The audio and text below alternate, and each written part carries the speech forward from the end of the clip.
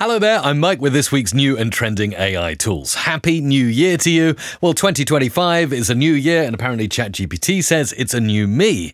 But ChatGPT has some serious competition from a Chinese firm that launched their latest model the day after Christmas Day. It's called DeepSeek. Let's take a look. Now, this is an open source model that boasts 671 billion parameters, which is pretty crazy.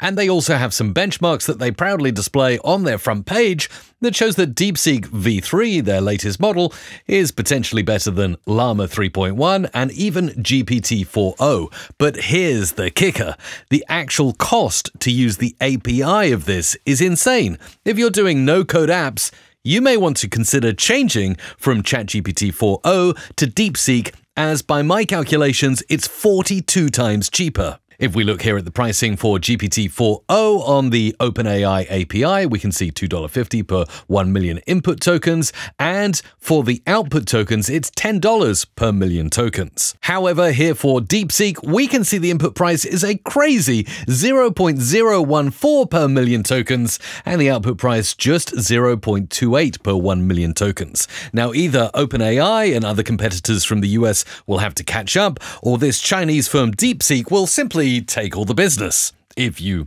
trust China, that is. Now, it is worth to note at this stage, I went to LM Arena to check how the rankings are going.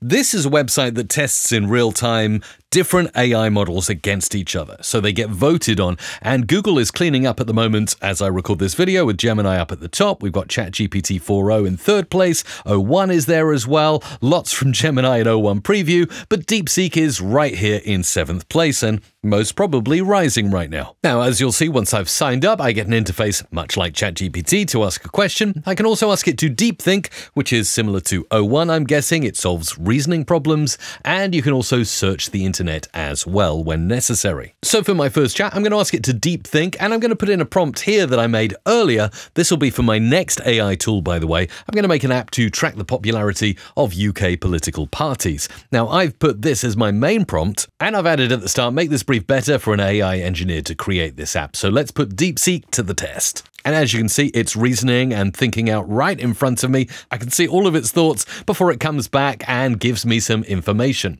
Uh, although I can see here there's some Chinese characters here. Obviously, it is a Chinese LLM, but it's giving very detailed stuff on interactive graphs, significant event markers, and the user interface, how it should look, and also how the backend should work. So this is pretty good. Now, I can't verify is this better than ChatGPT, only time will tell, but so far so good. Okay, and I've logged in here to the API control panel for the first time, and I can see actually that everything is discounted until the 8th of February, which is really cool. If you're developing an app and you're using large amounts of data, there's never been a better time to use the DeepSeek API. So as you can see, I've used nothing so far, but this is where it'll show up. I can get my API keys, much the same as I can with OpenAI, and insert them into an app. So far, I'm really impressed with how this is ranking in LM Arena, and as this channel is very much about no code and creating apps with AI tools, I wanted to show you something else that LM Arena are doing. They are actually ranking language models for the ability to create websites and web apps. This is a brand new feature. It launched about a month ago, and it's already got some historical data where you can build an app using web.lmarena.ai, which I'll link down below, by the way, and you can rank it as it creates two different apps in front of your eyes. Let's test it. And you can actually see down here it comes up with suggestions. I'm just going to say create a clone of Hacker News. And as you'll see, just like the LM Arena, where you get two different responses from AI language models, it's going ahead and trying to create that clone of a website in front of me using two different models. We'll see which one comes back the best. And there we go, both appear to have finished. Now, the one on the left took considerably longer than the one on the right to generate. And personally, looking at the different guides, I quite like the look of the one on the right, so I just have to select right is better, and then I'll find out what we've got here. So we had O1 working away on this version, and we had Gemini 2.0 Flash Thinking working on this one on the right that I think looks visually better and nicer. So there you go. And of course, if you want to know the best LLM to code your web apps and no code stuff, you can actually see this leaderboard that's about a month old, and you can see Claude 3.5 on it. The latest version is still there at the top. Anthropic crushing it at the moment uh, with O1 Mini from OpenAI and Gemini not too far behind. If you like what you see so far, throw a like and subscribe for more videos just like this one weekly. Okay, next up, I want to talk about Replit. Now, if you've watched my channel before, you'll know I'm a fan of Replit for working on your no-code tools in the cloud with AI features that are pretty insane. They've added another insane feature, and actually, they mentioned on X that they've just partnered with XAI to allow you to build projects and deploy them in seconds using XAI without needing to go back and forth with API documents or anything like that. This is a recent addition to Replit. Now, I have the Replit core plan. I think it's fantastic, and I'll show you how this works. So here I am logged into my account, and you'll see I get the Replit agent on my screen that can create pretty much anything I can think about. But what I really like about Replit is they're actively working on adding integrations with tools, so you don't need to go back and forth and find API documents Actually, Replit Agent knows how to integrate these things. So, popular things such as Firebase for a database in the cloud, Stripe to accept payments, that's so important. I see that in my community a lot. Members asking, How do I integrate payments? Well, maybe Replit Agent can do it for you, OpenAI, and of course, XAI. So, let's test one of these integrations. Let's test XAI. I'm going to keep it really simple here and ask the Replit agent to make that app to track the popularity of main UK political parties with a beautiful graph and some significant event markers. I've been very specific to say make sure to include Labour, Conservative, and Reform UK, and then I guess I just click a connection so I can use real time data from the XAI API, and boom, it says add AI features using XAI. You see, it's already thinking about my app, it's called it Political Pulse, and let's wait and see what the Replit agent will do in this instance. So you see, already it's saying, I'll help you build this political trends visualization, and it's already thinking about how it will do it. So I can build the initial prototype and you can see here XAI is recognized as a supported integration. So I don't need to worry about guiding the agent. It knows what to do. Now you can see as it goes along, it's marked that this is free. It's included in my plan. If I go over my allowance, of course, it's going to tell me all along the way how much I'll be charged. But there's a significant and generous amount of uses of the Replit agent in a core plan.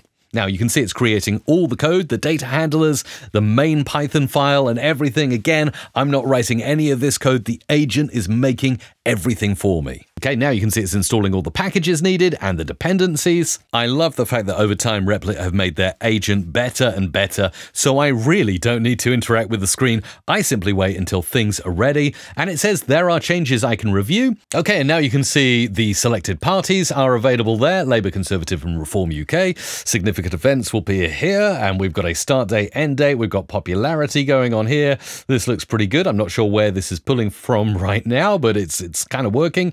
The AI powered insights does have an error, so let's copy that and let the Replit agent know about that. We'll let the agent work on fixing that error, and boom, within moments, we've got an updated app here. It seems to have some significant events appearing as well now, which is good. This is all running along quite nicely, and we've got the ability to generate AI insights, so let's try it.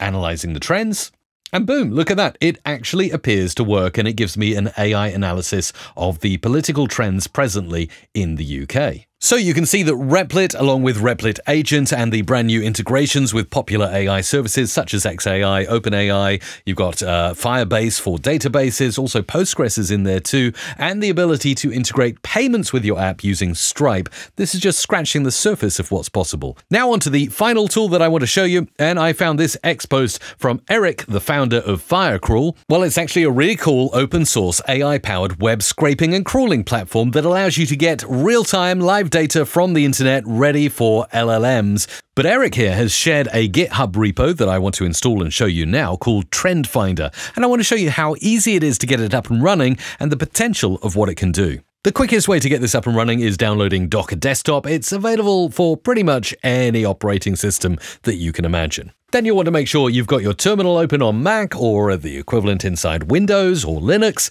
and you'll also want to make sure you've got Git installed as well. Now, then it's super easy to clone this awesome tool that Eric's created called Trend Finder. It allows you to basically stay on top of trending topics on social media by following different influencers and then analyzing what they talk about, going out to the web and finding out more about the info.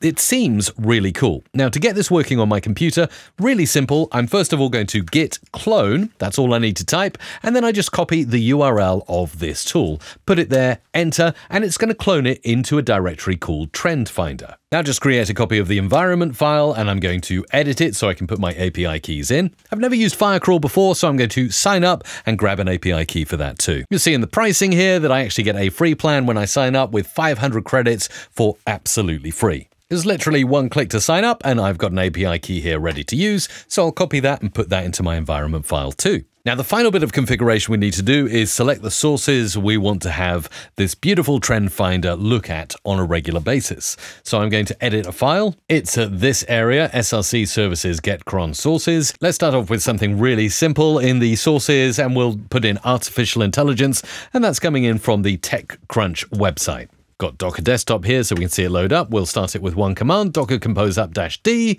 There it appears, Trend Finder. We can look at it running and we can also see here in Slack when it's finished looking at the TechCrunch website, it should come in here with a message and so it has. And you know what? It sent me a message via Slack AI and LLM trends on X for 1 slash 3, which is obviously January 3rd, uh, although it sent me no more information. Now, if I go to the Firecrawl API, I can see I've used three credits already. So it is taking a look at websites for me, but it hasn't presented me any further information in Slack. So I think I'm going to need to play with this tool a little bit more to get it working correctly. I can see it is going out to TechCrunch, it is looking there, it has found something, it's generated a post, but I didn't get that post. So if you know what's going on and how to make this seemingly awesome app work called Trend Finder, which uses Firecrawl and other APIs to find you online trends, I would love to know more. Maybe let me know down below in the comments if you get it up and running because it looks super powerful. And with that, that's all I've got for you this week. I hope you've enjoyed it. Do go ahead and join my community if you want to discuss these tools and other trending AI tools further. The link to join up for free is down below. And YouTube is showing a video up on your screen right now that you should probably watch next.